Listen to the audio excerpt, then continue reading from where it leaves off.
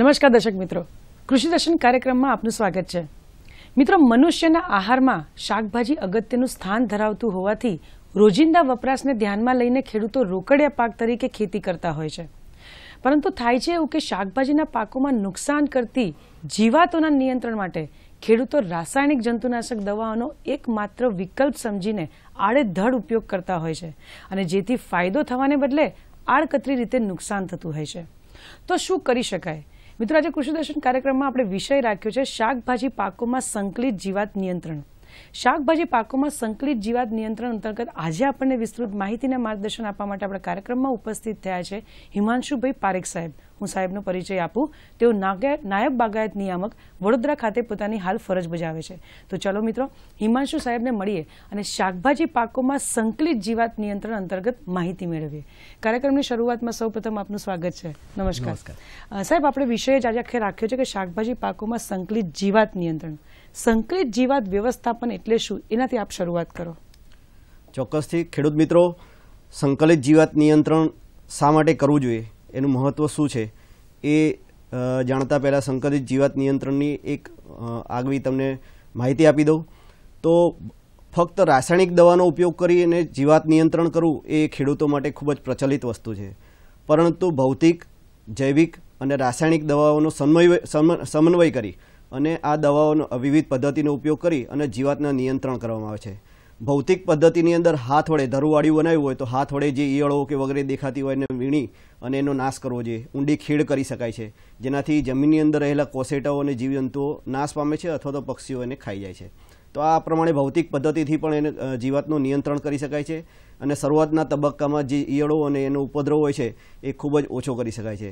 બીજું જૈવિક પદ્ધતિ છે, જેની અંદર ફૂગ છે, બેક્ટેરિયા છે, વાયરસ છે, જે આપણા મનુષ્યના શરીરમાં રોગ ફેલાવે છે, એ જ રીતે જીવાતની અંદર પણ આ જ પ્રકારે રોગ ફેલાઈ અને એનો નાશ કરવામાં આવે, તો એ જૈવિક પદ્ધતિથી એનો નિયંત્રણ કરી શકાય છે. બીજું યાંત્રિક પદ્ધતિ છે, એટલે કે ફેરોમેન ટ્રેપ છે, પ્રકાશ પિંજર છે આ વિવિધ પ્રકારના ચકલીઓના સ્ટેન્ડ છે, આવા મૂકી અને યાંત્રિક પદ્ધતિ દ્વારા પણ જીવાતનું નિયંત્રણ કરી શકાય છે. અને સાથે સાથે તમે જે પદ્ધતિ અપનાવો છો એ રાસાયણિક પદ્ધતિ દ્વારા પણ તેનું નિયંત્રણ કરી શકાય છે. એટલે જ્યારે જે તબક્કામાં જે રીતે જરૂર પડે એ રીતે સંકલિત રીતે જીવાતનું નિયંત્રણ કરવાની પદ્ધતિને સંકલિત જીવાત જીવાત નિયંત્રણ વ્યવસ્થાપન કહી શકાય. પણ સાહેબ જેમ તમે અને ઘણા નિષ્ણાંત એવી સલાહ આપતા હોય છે કે ભાઈ આડેધર તમે જે રાસાયણિક દવાઓનો ઉપયોગ કરો છો ન કરો. સંકલિત જીવાત વ્યવસ્થાપનનો કરો. શા માટે? આ બંનેમાં ફરક શું છે? ચોક્કસથી રાસાયણિક દવાનો જે રીતે ઉપયોગ થાય છે તો ઘણીવાર કેવું થાય છે કે જીવાતની સામે પહેલા દવાનો ઉપયોગ કરે ત્યારે પહેલા સ્ટેજની અંદર તો જીવાત એની સામે જીવાતની સામે રક્ષણ મળી જાય છે. પણ ધીરે ધીરે જીવાત પણ એક પ્રકારનો જીવ છે એ જીવવા માટે જીવનની સામે સંઘર્ષ કરી અને રોગ પ્રતિકારકતા જેમ આપણી વધી જાય છે એમ એની પણ પ્રતિકારકતા દવાની સામે વધી જાય. તો ફરી એની એ દવાનો ઉપયોગ કરો તો એની કોઈ અસર મળતી નથી. એટલે એવા સમયે જો રાસાયણિક દવાઓ સિવાય તમે બીજે પ્રયોગો કર્યા હોય દાખલા કે લીંબોડીનો તેલ છે. લીંબોડીનો તેલનો પ્રયોગ કર્યો હોય તો પણ જીવાતનું ખાસું એવું નિયંત્રણ થઈ શકે છે. ઊંડી ખેડ કરી હોય તો પણ ખાસું એવું નિયંત્રણ કરી શકાય છે. આમ વિવિધ પ્રકારના સંકલિત જીવાત નિયંત્રણ કરવાથી ફક્ત રાસાયણિક દવાનો જો ઉપયોગ કર્યો હોય તો તમારો ખર્ચ પણ વધે છે અને જીવાતનું નિયંત્રણ થવાને બદલે એનો દુરુપયોગ થઈ અને મનુષ્યના શરીરમાં પણ રાસાયણિક દવાનો વધુ વપરાશ કરવાથી જો મનુષ્યના શરીરમાં પણ એનું ખરાબ અસર જોવા મળતી હોય છે. જેથી સંકલિત જીવાત નિયંત્રણ કરવાથી રાસાયણિક દવા સામે આપણે મનુષ્ય જીવનને બચાવી શકાય બચાવી શકાય. સાહેબ ઘણી વખત એવું કહેતા હોય છે કે દવાનો જ્યારે છંટકાવ કરીએ તો પંપની અંદર સ્ટીકર નાખવું જોઈએ. આ કેમ અને શા માટે? એનાથી શું ફાયદો છે નુકસાન છે શું છે એની અંદર? ચોક્કસથી. ખેડૂત મિત્રો જ્યારે કોઈ પણ રાસાયણિક દવા અથવા જૈવિક દવાઓ છાંટતા હોય ત્યારે દવા લાંબો સમય સુધી જો છોડ ઉપર ટકી રહે તો અને તો જ માત્ર એ દવાની અસર જોવા મળે. જો લીસા પાન હોય અને દવા છાંટી હોય તમે તો એ તરત પાણી જે તમે છંટકાવ દવા છંટકાવ કર્યો છે એ લીસા છોડ ઉપરથી નીચે ઉતરી જશે. એ જ રીતે જો ખરબચડી સપાટી હોય અને એ સમયે એની પર દવા છે વ્યવસ્થિત રીતે છંટાય નહીં તો પણ આ દવાની અસર લાંબો સમય સુધી રહેતી નથી. ક્યારેક તમે જોયું હોય તો સાબુનું પાણી છે એ હાથમાં લેવાથી એમાં ચિકાસ પણ તમને જોવા મળે છે. તો સ્ટીકર એક બીજું કશું નહીં પણ એક સ્ટીકિંગ એજન્ટ છે જેથી કોઈ પણ દવાની અંદર જો સો એમએલ જેવું સાબુનું પાણી છે અથવા ટીપોલ છે બે ચાર ટીપા નાખી અને એ દવાની અંદર ભેળવી અને એ પંપના પંપમાં ભેળવી અને જો એનો દવાનો છંટકાવ કરવામાં આવે તો તમે જે દવા છાંટો છો એ લાંબો સમય સુધી જો પર્ણ ઉપર પાંદડા ઉપર રહેશે તો જ એ અંદર ઉતરશે અને દવા અંદર ઉતરેથી જીવાતનું યોગ્ય પ્રકારે નિયંત્રણ કરી શકાશે. એટલે સ્ટીકર નાખવું ખૂબ જ જરૂરી છે. પણ માની લો સાહેબ કે જેમ જીવાત છે તો ધારો કે અમે પંપ દ્વારા દવાનો છંટકાવ કર્યો. પણ માની લો કે જીવાતનો ઉપદ્રવ ઓછો છે તો ખેડૂતે શું કરવું જોઈએ? જે સમયે જીવાતનો ઉપદ્રવ ઓછો હોય એ સમયે એક આપણું જૂની ગુજરાતી કહેવત છે કે રોગ અને શત્રુ બંનેને ઉગતો ડાંબવો જોઈએ. તો જીવાતના શરૂઆતના સ્ટેજમાં ખૂબ જ ઓછા પ્રયત્નોથી જીવાત નિયંત્રણ થઈ જાય છે. પરંતુ જ્યારે એનું સ્ટેજ વધી જાય છે અને એના ક્રિટિકલ સ્ટેજ કરતાં પણ વધારે હોય છે ત્યારે એને નિયંત્રણ કરવું ખૂબ જ અઘરું હોય છે. એટલે શરૂઆતના તબક્કામાં જ્યારે જમીન તૈયારી કરતા હોય ત્યારે વર્ષમાં એકવાર ઊંડી ખેડ કરવામાં આવે. ઊંડી ખેડ કરવાથી શું થાય? જમીનની અંદર જે પણ કોસેટા છે કે ઈંડા છે કે ઈયળો છે, એ પ્રકાશમાં અથવા તો તાપમાં ઓપન થવાથી એને પોતે કુદરતી રીતે નાશ પામે છે. એટલે ઊંડી ખેડ કરવી જોઈએ. એ જ પ્રમાણે તમારે બીજા પ્રયોગો કરવા હોય તો ધરુવાળ્યા સમયે કે જે જે જગ્યાએ ઈંડા મૂકવાની જેની જગ્યા હોય છે, એનો પણ તમે વીણી અને નાશ કરી, ઈંડા અને ઈયળો એને ફિઝિકલી તમે વીણી અને નાશ કરી શકાય છે. સજીવ જૈવિક ટેકનોલોજી એટલે જૈવિક દવાઓનો ઉપયોગ પણ કરી શકાય છે. એ રીતે પ્રકાશ પિંજરનો ઉપયોગ કરી શકાય છે ફેરોમેન ટ્રેપનો ઉપયોગ કરી શકાય છે પાકની ફેરબદલી કરી શકાય. પાકની ફેરબદલી કરવાથી પણ ઘણા પ્રકારની જીવાત છે એ બીજા પાકની અંદર ધીમે ધીમે નાબૂદ થતી હોય છે. તો ઘણા બધા પદ્ધતિઓ છે. શેઢાપાળા પણ ચોખ્ખા રાખવા જોઈએ. મોટાભાગે શું થાય પાક પૂરો થયા પછી એ શેઢાપાળા ઉપર એના કોસેટા અથવા ઈંડા એક સામાન્ય સમય સુધી અસામાન્ય સમય સુધી બીજી સિઝન ત્યાં સુધી આપણે ના લઈએ ત્યાં સુધી એની પર સર્વાઈવ કરતા હોય છે. એટલે જો શેઢાપાળા ચોખ્ખા હોય તો તે પણ જો તેની પર પણ જીવાત જીવી શકતી નથી અને બીજી સિઝનમાં જ્યારે આપણે પાક લઈએ, ત્યારે એ જ જીવાત આપણને નુકસાન કરતી હોય છે, જેને આપણે અટકાવી શકીએ છીએ. આવી ઘણી બધી પદ્ધતિઓ દ્વારા તમે જીવાતનું શરૂઆતના ઓછા તબક્કાની અંદર, કે જ્યારે જીવાતનું પ્રમાણ ઓછું છે, ત્યારે પણ એનો ઉપયોગ નિયંત્રણ કરી શકો છો. બરાબર.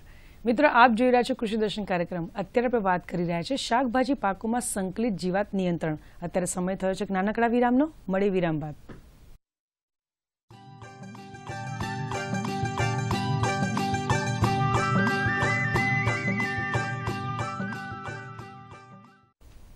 વિરામ બાદ ફરીથી આપનું સ્વાગત છે મિત્રો. આપ જોઈ રહ્યા છો કૃષિ દર્શન કાર્યક્રમ ને અત્યારે આપણે વાત કરી રહ્યા છે શાકભાજી પાકોમાં સંકલિત જીવાત નિયંત્રણ. હિમાંશુભાઈ હવે આપણે વાત પર આવીએ કે શાકભાજીમાં મુખ્યત્વે કઈ કઈ જીવાતો થાય છે જેના કારણે બહુ મોટું નુકસાન અમારા ખેડૂત મિત્રોને ભોગવવું પડતું હોય છે. તો આ જીવાતો કઈ કઈ છે?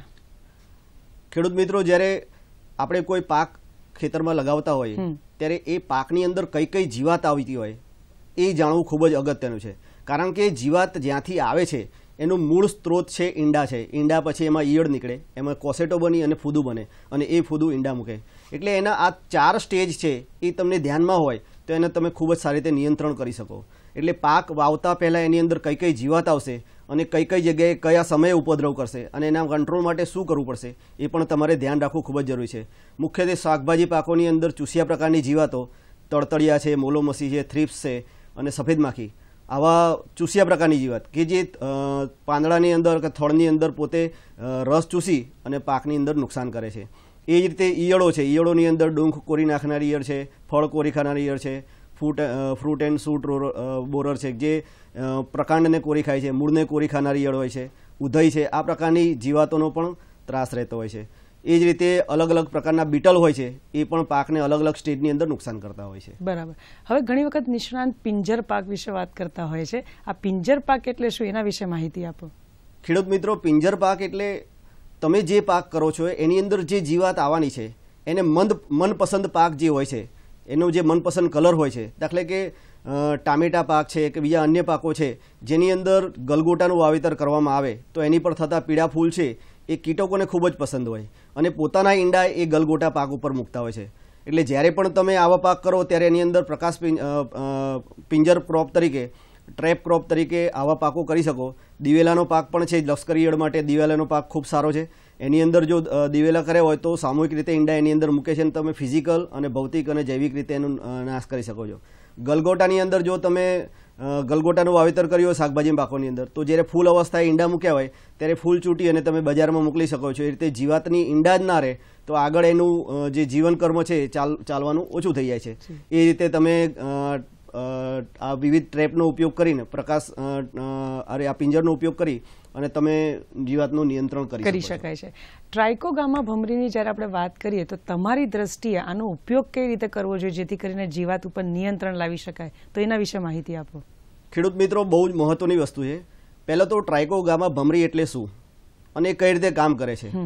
તો ટ્રાઇકોગામા ભમરી છે એ આપણે ગાંધીનગર ખાતેની કચેરી છે ખેતીવાડીની. એમાં ચૌદ સેક્ટરની અંદર લેબોરેટરી છે, એની અંદરથી એ કાર્ડ મળે છે. એની કાર્ડની અંદર ટ્રાઇકોગામાં ભમરીના ઈંડા લગાવેલા હોય છે. તમારે ત્યાં યોગ્ય સમયે એને લાવી અને એક હેક્ટરે ચારથી પાંચ કાર્ડ છે, એ યોગ્ય સમયે છોડવાના રહે છે આ ટ્રાઇકોગામા ભમરી છે, એ પોતાના ઈંડામાંથી, એની પર ઈંડા ચોંટાડેલા હોય છે. એ ઈંડામાંથી જ્યારે ટ્રાયકોગામાં ભમરી બહાર નીકળે, એટલે એ મુખ્યત્વે જે પણ જીવા જે નુકસાન કરતા છે, એના ઈંડાને ભક્ષણ કરતી હોય છે, અથવા તો એના ઈંડાની અંદર પોતાના ઈંડા મૂકતી હોય છે. એટલે તમારા ઈંડાનો સ્ટેજ છે જે સમયે. એ સમયે જો ટ્રાઇકોગામા ભમરી છે, એ છોડવામાં આવે, તો એ તમારા જે ઈંડા છે નુકસાન કરતા જીવાતના ઈંડા, એનું ભક્ષણ કરશે અને જેના લીધે એનો ઉપદ્રવ ઓછો થઈ જશે. તો ટ્રાયકોગામા ભમરી છે, એ પણ જો યોગ્ય સમય બેથી ત્રણ વખત છોડવામાં આવે, તો જીવાત નિયંત્રણ બહુ ખૂબ જ અસરકારક રીતે કરી શકાય છે. બરાબર. ઘણી વખત હિમાંશુભાઈ, આ જે નિષ્ણાંતો હોય છે, ખેડૂતોને સલાહ આપે છે કે ભાઈ જૈવિક કીટનાશકનો ઉપયોગ કરો. પહેલો પ્રશ્ન એવો આવે કે જૈવિક કીટનાશકો એટલે શું? અને શાકભાજી પાકમાં જ્યારે પણ જીવાત થતું હોય તો એના નિયંત્રણ માટે આનો કેવી રીતે ઉપયોગ કરી શકાય? ખેડૂત મિત્રો જૈવિક કીટનાશક. કીટનાશક એટલે જીવાતનું નિયંત્રણ કરવા માટેની દવાઓ. પરંતુ રાસાયણિક દવાનો ઉપયોગ ના કરતા જૈવિક દવાનો ઉપયોગ કરવાનો હોય છે. જૈવિક દવાની અંદર શું હોય છે કે જે પણ તમે બજારમાંથી લિક્વિડ કે પાવડર મળતો હોય છે એની અંદર વિવિધ પ્રકારના બેક્ટેરિયા ફૂગ અથવા તો વાયરસ હોય છે. એ વાયરસનો તમે છંટકાવ કરો છોડ ઉપર. ત્યારે ઈયળો ઉપર અથવા તો ફૂદા ઉપર કે ઈંડા ઉપર અને ચૂસિયા પ્રકારની જીવાત ઉપર એ એની અંદર અસર કરી એની અંદર જીવાતની અંદર રોગ ફેલાવે છે અને એના લીધે એનું અસરકારક રીતે નિયંત્રણ થાય છે. દાખલા કે એનપીવી વાયરસ છે તો એનપીવી વાયરસનો જ્યારે છંટકાવ કરવામાં આવે ત્યારે ઈયળની અંદર રોગ ફેલાય છે અને ઊંધી લબડીને મરી જાય છે. અને એ જ ઊંધી લબડેલી જીવાત છે એ ઈયળ છે એને ભેગી કરી એને ક્રોસ કરીને ફરી પણ તમે એનો છંટકાવ કરી શકો છો. એ તે વારંવાર તમારે દવા લાવવાની જરૂર નથી. અને એની અંદર રહેલા જે વાયરસ છે એને ફરી તમે ઈયળની અંદર ફેલાઈ અને ઈયળનો કંટ્રોલ કરી શકો છો. એ જ રીતે વર્ટિસિલિયમ લેકાની છે એ પ્રકારની ફૂગ છે અને ચૂસિયા પ્રકારની જીવાતની અંદર નાખવામાં આવે તો એનો પણ અસરકારક રીતે ચૂસિયા પ્રકારની જીવાતનું નિયંત્રણ થઈ શકે છે. એ બિવેરિયા બેસિયાના છે બીટી પાવડર છે એ બીટી પાવડર છે બેસિલસ થિરોજોનોસિસ જે આપણે બીટી કપાસ બહુ ફેમસ છે. પણ એની અંદરના આ બેક્ટેરિયા છે એ બીટી છે એનો છંટકાવ કરવાથી પણ અલ- અલગ અલગ પ્રકારની જીવાતનું નિયંત્રણ કરી શકાય. કરી શકાય. લાઇટ ટ્રેપ અને ફેરોમેન ટ્રેપ આ બંનેનો કેવી રીતે ઉપયોગ કરી શકાય એના વિશે થોડી માહિતી આપશો? ચોક્કસથી ખેડૂત મિત્રો તમને ધ્યાનમાં હશે કે ઘણી જીવાત છે એ અમુક સ્ટેજ ઉપર તમને એના ફૂદા ઉડતા જોવા મળે છે. આપણે જે રીતે ઈંડા નથી જોઈ શકતા, એ રીતે ફૂદાને ઉડતા કંટ્રોલ કરી શકતા નથી. અને ઈંડામાંથી નીકળેલી ઈયળો છે, એ પણ બહુ જ નાની હોય. જ્યારે મોટી સ્ટેજમાં આવે, ત્યારે આપણે એને કંટ્રોલ કરવા જઈએ છીએ. પરંતુ ખરેખર એણે જ્યારે નુકસાન કરવાનો સમય હોય, એ સમયે એને નુકસાન કરી લીધું છે. હવે કોસેટો બનીને ફૂદું બનીને ઉડી જવાની છે, જે નુકસાન કરવાની નથી. પરંતુ ખેડૂત મિત્રો, આ મોટી ઈયળને નુકસાન એને નિયંત્રણ કરવાની કામગીરી કરતા હોય છે. અથવા તો રાસાયણિક દવાઓ છાંટતા હોય છે. પરંતુ જો પ્રકાશ પિંજર છે એના દ્વારા આપણે ફૂદાઓને રાત્રે જે ફૂદા ઉડતા હોય છે, જે નિશાચર હોય છે, એ ફૂદા છે, એ જો પ્રકાશ એટલે કે એક નાનો બલ્બ હોય, ગોળો હોય, એ રાત્રિના દરમિયાન તમે ખેતરની અંદર મૂકો, તો એ પ્રકાશના આધારે ત્યાં લાઇટની ટ્રેપના કારણે ખેંચીને આવશે. આપણે ઘરમાં પણ ઘણીવાર ચોમાસા દરમિયાન જોયું છે કે ફૂદા જીવાત છે, ત્યાં ખેંચાઈ આવતા હોય છે. તો આ પ્રકાશની નીચે તમે એક તગારો અથવા એક તપેલું અથવા મોટી કોઈ પણ સાધન લઈ વાસણ લઈ, એની અંદર કેરોસીન અથવા તો કોઈપણ કોઈ જંતુનાશક દવા નાખી અને મૂકી રાખવાની છે. જ્યારે ત્યાં બલ્બને એ જીવાત અડશે, એટલે ગરમ હોવાને કારણે ત્યાંથી અડીને નીચે પડશે અને નીચે રાખેલું વાસણ છે, એની અંદર પડીને મરી જશે. તો આ પ્રકાશ પિંજર દ્વારા પણ તમે મોટાભાગના ફૂદા ફૂદા કંટ્રોલ થઈ જાય એટલે એમાંથી ઈંડા મૂકવાની પ્રોસેસ બંધ થઈ જાય. એટલા માટે મોટાભાગે પ્રકાશ પિંજર રાત્રે મૂકી અને જીવાતનો કંટ્રોલ કરી શકાય છે. એ જ રીતે ફેરોમેન ટ્રેપ છે. ફેરોમેન ટ્રેપમાં નર ફૂદા છે. એને કંટ્રોલ કરી શકાય છે. તો માદા જીવ, માદા જે ફૂદા છે, એની વાસ એ ફેરોમેન ટ્રેપની અંદર મૂકી અને બ્લોક તમારે એક હેક્ટરે પંદરથી ચાલીસ સુધી મૂકી શકાય છે. જો વેલાવાળા શાકભાજી હોય તો ક્યુલુર આવે છે. જે ક્યુલુર મૂકવાથી એ જે ફૂદા છે નર ફૂદા છે, એની માદાની સ્મેલના કારણે એની અંદર આવશે અને દવાને કારણે મૃત્યુ પામશે. એટલે નર ફૂદા કંટ્રોલ થઈ જવાથી માદા ફૂદા છે એ ખૂબ ઓછા પ્રકારમાં સમયમાં એંડા મૂકી નહીં શકે. એટલે જીવાતનું અસરકારક રીતે નિયંત્રણ થઈ શકે.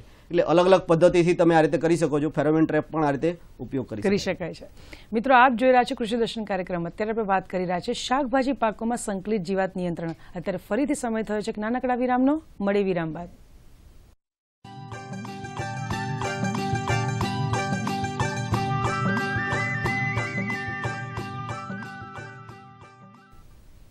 વિરામ બાદ ફરીથી આપનું સ્વાગત છે. મિત્રો, આપ જોઈ રહ્યા છો કૃષિ દર્શન કાર્યક્રમ. ને અત્યારે વાત કરી રહ્યા છે. શાકભાજી પાકોમાં સંકલિત જીવાત નિયંત્રણ.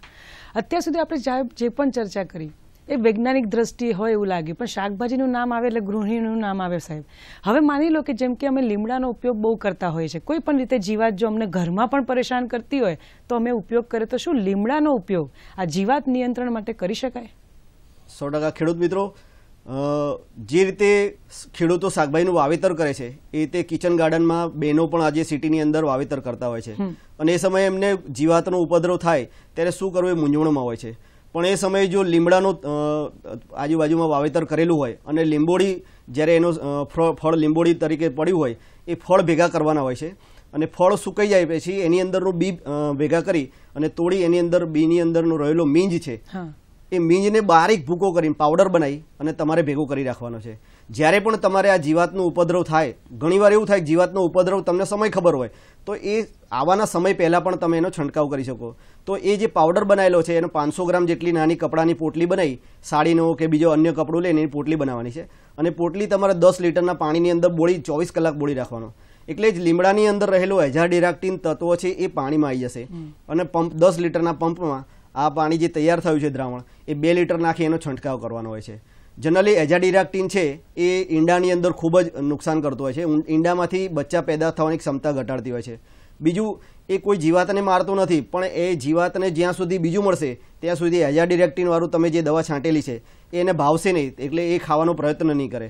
એટલે આ પ્રમાણ પ્રકારે જો લીંબોળીનો તેલનો અથવા તો લીંબોળાના ઘરે લીંબુનો લીંબોડીનો પાવડર બનાવી અને તમે આ રીતે ઉપયોગ કર્યો છે તો પણ તમે જીવાત છે ચૂસિયા પ્રકારની જીવાત છે ઈયળ છે એનો ખૂબ જ કંટ્રોલ પ્રભાવી રીતે કંટ્રોલ કરી શકો છો. તો જેવી રીતે આપણે આ અલગ અલગ મુદ્દા જોયા કે જેનાથી આપણે આ જીવાતોને નિયંત્રણ કરી શકીએ પાક ફેરબદલીથી પણ ઘણા નિષ્ણાંતો એવું કહેતા હોય છે કે પાક ફેરબદલી તમે કરો તો જીવાત નિયંત્રણ થઈ શકે. કેવી રીતે થાય?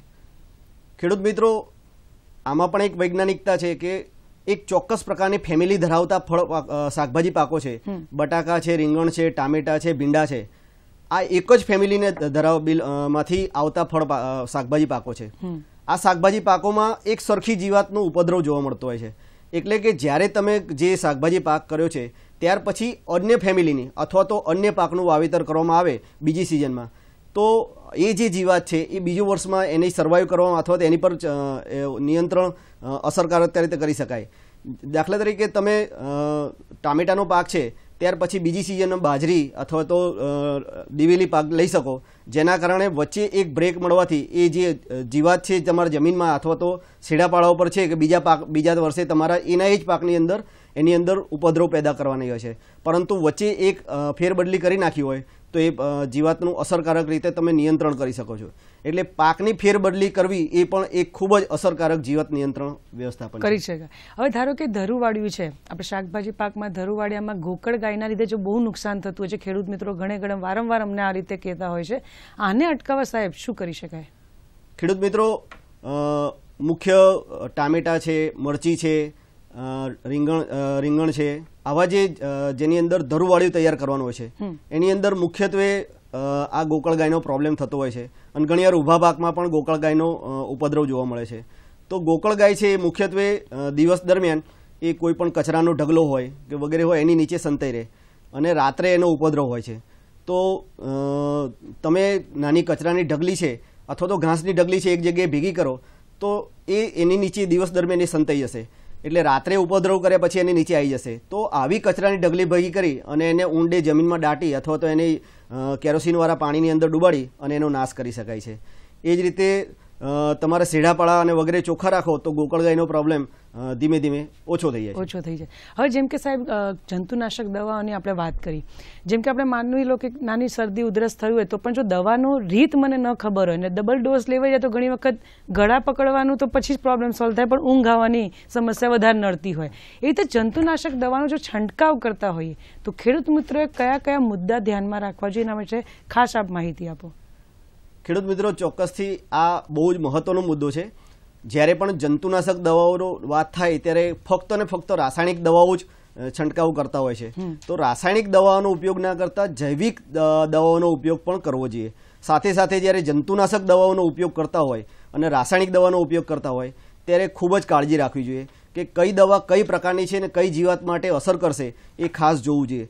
તો જ્યારે ઈયળો છે તો એનો નાશ કરવા માટે શોષક પ્રકારની દવાઓનો ઉપયોગ કરી શકાય છે. એ જ રીતે જો તમારે યોગ્ય માત્રાની અંદર દવા ના આપી હોય એટલે શરૂઆતનો જ્યારે ખૂબ જ જીવાત ઓછા પ્રમાણમાં હોય ત્યારે દવાનો ડોઝ ખૂબ ઓછો રાખવો જોઈએ. જેમ જેમ ઉપદ્રવ વધતો જાય એમ દવાનો ડોઝ વધારતા જવું જોઈએ. અથવા તો દવા બદલી રાખવી જોઈએ કારણ કે જ્યારે જ્યારે એક જ દવા તમે નાખો છો ત્યારે શરીરની અંદર જેમ આપણા શરીરની અંદર પણ જીવાત દવાની અસર નથી થતી, એમ જીવાતની અંદર પણ એ રાસાયણિક દવાની અસર ધીમે ધીમે નાબૂદ થઈ જાય છે. અને ઘણીવાર ખેડૂતોનો આ પ્રશ્ન હોય કે સાહેબ, આ દવા નાખ્યા પછી પણ આ દવાનો અમને રિઝલ્ટ નથી મળ્યું. તો દવા પણ ફેર બદલી ધીમે- થોડા થોડા સમય કરવી જોઈએ, જેથી જીવાતનો કંટ્રોલ કરી શકાય. એ રીતે મેં હમણાં અગાઉ વાત કરી, એ રીતે વિવિધ ફૂગ, બેક્ટેરિયા, વાયરસ એની જે જૈવિક દવાઓ આવે છે, એ પણ તમે ઉપયોગ કરી અને યોગ્ય સમયે ભેજને જાળવી અને જો જંતુનાશક દવાઓની ઉપયોગ કરો, તો ઝડપથી તમે એનું નિયંત્રણ કરી શકો છો. ખૂબ જ ઓછા પૈસાની અંદર, ઓછા ખર્ચની અંદર તમે જૈવિક નિયંત્રણ કરી શકાય છે. બરાબર. સાહેબ, હવે ઉધયન વિશે મારે તમારી પાસે માહિતી જોઈતી હોય છે. શાકભાજી પાકમાં જો ઉધઈ થાય, તો તો કરવું શું? એના નુકસાન જે બહુ જ રીતે પ્રોબ્લેમ થતા હોય છે. તેને અટકાવવા માટે શું વસ્તુ ધ્યાનમાં રાખી શકાય?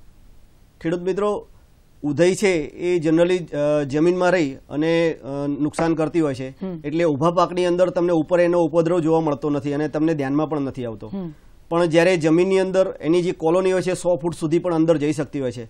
એટલે તમે જ્યારે એનું નિયંત્રણ કરવા માંગતા હો અથવા તમે પહેલાં તો એને નુકસાન કઈ પ્રકારનું છે એ પણ જોવું જોઈએ. તો એના મૂળ છે એના ભાગમાં રહી મૂળ કાપી નાખતા હોય છે. જેના લીધે છોડ ઉપર સુકાઈ જાય છે. હવે એ છોડને જ્યારે તમે ખેંચો તો સીધી સીધું ખેંચી શકાય છે અને એના મૂળ હોતા નથી. તંતુ મૂળ બધા ખાઈ જતા હોય છે. તો ઉદયનું નિયંત્રણ કરવું હોય તો તમારે ક્લોરોપાયરીફોસ નામની દવા છે. એ દવા ટીપી ટીપી ટીપી જ્યારે પાણી તમે ધોળિયામાં જતું હોય તો એની સાથે જવા દેવી જોઈએ. જેથી જેટલી ઊંડાઈ સુધી પાણી જશે એટલે ઊંડી સુધી એની ઉદયની કોલોની નાશ પામશે. આ રીતે તમે એનું નિયંત્રણ ઉદયનું કરી શકાય છે. બરાબર. હવે જેમ કે અમને કીધું કે શાકભાજીની વાત આવે સાહેબ એટલે ગૃહિણીની વાત આવે. માની લો કે બજારમાંથી શાકભાજી જ્યારે આપણે ઘરે લાવીએ છીએ તો એને કઈ રીતે ધોઈને કે જે રીતે પણ વપરાતા હોય જેના કારણે અમને નુકસાન ના થાય? કે તમે તો જે બધી દવાઓ છાંટવાની વાત કરી એ મને ખ્યાલ છે જેમ બધા ખેડૂત મિત્રોને પણ ખબર છે. પણ માની લો કે એવી ને એવી જ શાકભાજી હું ઘરે લાવું તો નુકસાન શું થાય? હું સીધે સીધું રાંધી લઉં તો? જ્યારે કોઈ પણ દવા ખેડૂત ખરીદી અને દવાનો છંટકાવ કરતા હોય રાસાયણિક દવાઓનો ત્યારે એની પર સ્પષ્ટ લખેલું હોય છે કે આ દવા છાંટ્યા પછી પંદર દિવસ સુધી શાકભાજી ઉતારવું નહીં અથવા હાર્વેસ્ટ કરવું નહીં. પરંતુ અત્યારે જે યુગ છે એ પ્રમાણે ઝડપથી શાકભાજી બજારમાં પહોંચે તો અને તો જ માત્ર એને ભાવ મળતા હોય. તે સમયે ખેડૂતો એક બાજુ દવા છંટ છાંટતા હોય છે અને બીજી બાજુ પોતાનો પાકનું હાર્વેસ્ટિંગ કરી અને સીધું બજારમાં પહોંચાડતા હોય છે. અને એની રાસાયણિક દવાઓની જે આડઅસર છે એ માણસોની અંદર ખૂબ જ ઝેરી અસરો જોવા મળતી હોય છે. તો જ્યારે બજારમાંથી કોઈ પણ શાકભાજી ઘરે લાવો તો એને કમ્પ્લીટ લાઈ અને તરત એને પાણીથી ધોવી જોઈએ. આવું પાણીથી ધોવાથી જે પાણીમાં દ્રાવ્ય દવાઓ છે એ સહેલાઈથી ઉપરથી નીકળી જશે.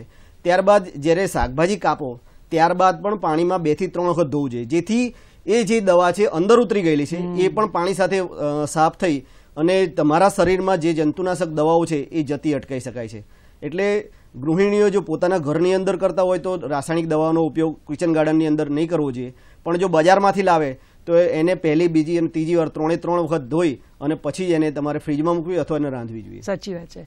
હિમાંશુભાઈ ખૂબ મજા આવી. આપની સાથે વાત કરીને આપ વડોદરાથી અહીંયા પધાર્યા અને અમારા દર્શક મિત્રોને શાકભાજી પાકોમાં સંકલિત જીવાત નિયંત્રણ અંતર્ગત જે માહિતી આપી તે બદલ અમદાવાદ દૂરદર્શન કેન્દ્ર વતી તથા અમારા તમામ મિત્રો વતી હું આપનો ખૂબ ખૂબ આભાર માનું છું. નમસ્કાર. નમસ્કાર. મિત્રો આજે કૃષિ દર્શન કાર્યક્રમમાં આપણે હિમાંશુભાઈ પારેખ સાહેબ પાસેથી શાકભાજી પાકોમાં સંકલિત જીવાત નિયંત્રણ અંતર્ગત માહિતી મેળવી.